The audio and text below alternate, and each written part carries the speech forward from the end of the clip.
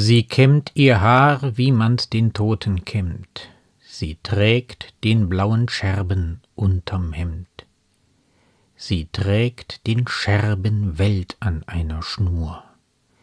Sie weiß die Worte, doch sie lächelt nur.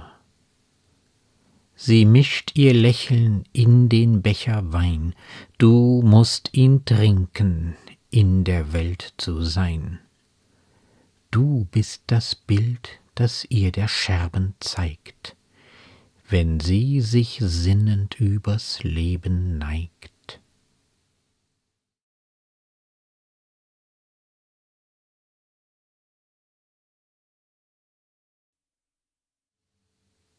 Sie kämmt ihr Haar, wie man's den Toten kämmt. Das Gedicht selbst verrät nichts über die Identität von sie. Es ist wohl Celans Mutter gemeint, die unter deutscher Besatzung 1941 in einem Zwangsarbeiterlager erschossen wurde. Der Vers verweist auf die Gespaltenheit einer Erinnerung. Das Bild vor Augen ist das eines lebenden Menschen. Dem steht das Wissen gegenüber, dass dieser Mensch tot ist. Sie trägt den blauen Scherben unterm Hemd. Sie trägt den Scherben Welt an einer Schnur. Die ganze Welt hat also im Vergleich zur Person, die sie gewissermaßen als Amulett trägt, nur die Größe, aber auch die Zerstörtheit einer Scherbe. Sie weiß die Worte, doch sie lächelt nur.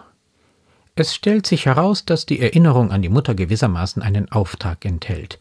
Die Mutter weiß bereits die Worte, die der Sohn schreiben soll, mit denen er zum Dichter wird, doch an den Sohn werden sie nur als Lächeln gesandt.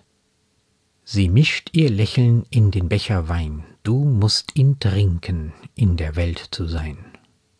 Den bitteren Wein der Trauer muss er trinken, das Lächeln der Mutter aufnehmen und daraus die Worte entstehen lassen, die die Dichtung sein wird, in der die menschengemachte Katastrophe und darin auch der Tod der Mutter verarbeitet wird. Anders ist das in der Weltsein nicht zu ertragen. Du bist das Bild, das ihr der Scherben zeigt, wenn sie sich sinnend übers Leben neigt. Übergroß lässt Celan also seine Mutter in seiner Erinnerung aufleben. Andererseits scheint er sich sicher, dass er seiner Mutter damit, dass er seine Dichtung ihrer Erinnerung widmet, etwas zurückgibt.